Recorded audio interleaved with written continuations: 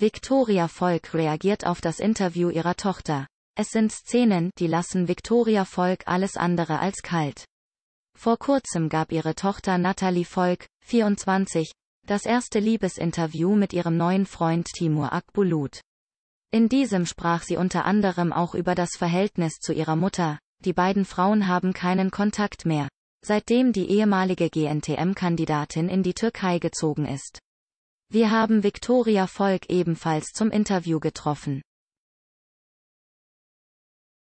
Wie sie die Beziehung zu Natalie und ihrem Schwiegersohn in Spee beschreibt und warum sie sich sehr große Sorgen um ihre Tochter macht, erzählt sie im Video. Mama Victoria sicher, Natalie wird von Timur kontrolliert. Seit einem Jahr hat Victoria Volk keinen Kontakt mehr zu Natalie. Aber nicht, weil sie das nicht möchte. Ganz im Gegenteil. Ich versuche manchmal mit ihr zu schreiben. Ich versuche ihr das zu sagen, was ich denke und sie blockiert mich. Verrät die besorgte Mutter im RTL-Interview.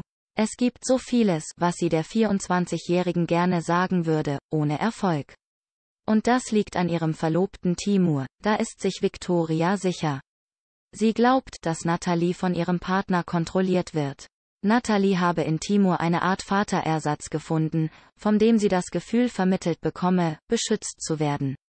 Victoria wünscht sich allerdings, dass es den Tag nie gegeben hätte, an dem ihre Tochter Timur begegnet ist.